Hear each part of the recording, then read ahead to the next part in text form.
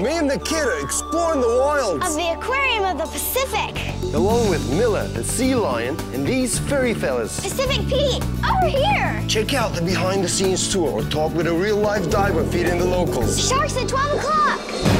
No problem. Or discover the new lorikeet forest. Get face to face with the bigger and better Aquarium of the Pacific off Rainbow Harbor in Long Beach. The natives are friendly. Friendly.